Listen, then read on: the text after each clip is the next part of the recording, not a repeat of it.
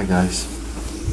Would you like to join me for a little slow ride along the Plymouth coast? I really like the trips. I just, you know, sit on my bike and just go for a one hour or longer. Just cruising really slow and just enjoying views and stuff. Join me. You're welcome.